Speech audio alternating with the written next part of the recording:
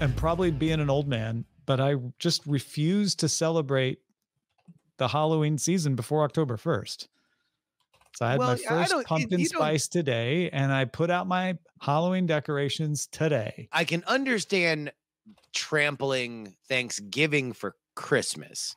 That is something that I I will I will draw a line in the sand on. But I don't really see what you are trampling if you start celebrating Halloween as early as July 5th. What else is there?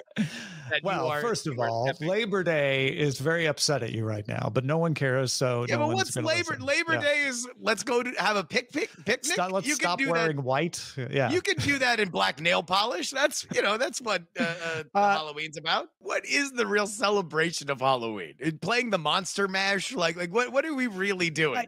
Drinking the pumpkin spice things, you know. If I get tired of pumpkin spice by October 31st, then I'm doing it for too long. that's that's out, also a temperature thing for me. putting that's out the something that- pumpkins and that's something that you are are are uh, uh, cursed by being in LA, where it never really changes Yeah. temperature. But like uh, to me, there needs to be a bit of a chill in the air before I need to want to wear a sweater before I I drink anything with cinnamon in it. my instinct is such an old man one, but I'm like, but if you if you spend too much time, it's not special anymore. You you wear it out.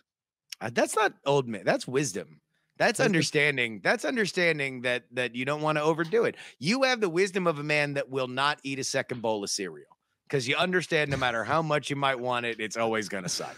X, Twitter, Meta, YouTube, TikTok, um, asking them to explain how they are dealing with misinformation on their platform. Terry Breton has made sure it's very public enforcement. I would have expect letters to have been sent and maybe a posting on the EU site noting that and then some journalist discovers it and says hey look what they did rather than terry breton on x saying i sent them a letter.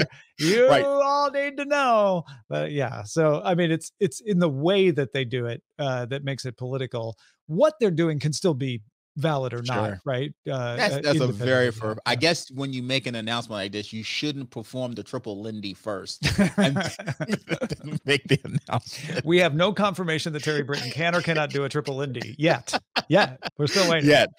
I don't What are they gonna do on. Mars? That's what I want to know. Yeah. Y'all no will more have to tell me because I'm not going. Well, I'm not going to Mars. What if you I'm end up going to on that Mars planet. somehow? I'm not gonna. I, I mean, would be would the be- ultimate irony if Sarah Lane ends up on Mars through some weird confluence of events. If someone Like- like, offered me enough money so that I only had to be there for a short period of time and then I could come home, I would consider it. I'm I'm imagining. But it would have to be like a lot of money. here's here's what actually went through my head just now. Uh, Sarah, Sarah, uh, we get um, the ability to freeze freeze you, you know, so that you your your your your corpse A can be cryogenic reanimated. type thing. So Got Sarah it. gets Uh-huh. cryogenically frozen. Uh, there's a world crisis, and there's a movement to take cryogenically frozen people and put them into space in order to preserve them while we deal with the world crisis. A bunch of them get moved to Mars. Then the technology to reanimate people is developed, and they reanimate you, and you're on Mars. Oh man. I would be so mad.